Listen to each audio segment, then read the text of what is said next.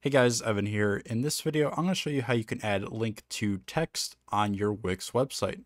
So first you want to go to the Wix editor. If you don't know how to get to here, you want to go to your dashboard and click on the top right where it says edit site. That's going to take you to the Wix website editor and you're going to get a page that looks kind of similar to this.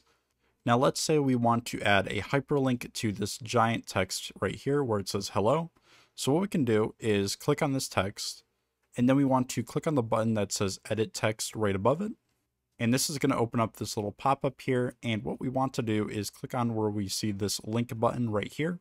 Now it's going to ask us what we want to link to. So we can either select a page on our Wix website. So we can select any one of these pages, or we can add a brand new page to link to. We can also add a web address. So we can paste any website we want here.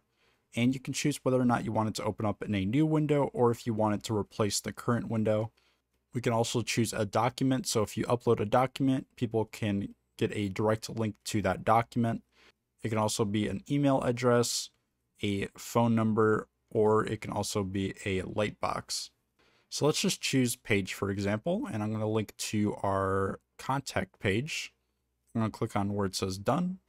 And now whenever we click on this text here on our website, we're going to get linked to our contact us page.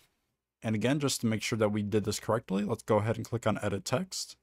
We can see that the link is currently highlighted right here.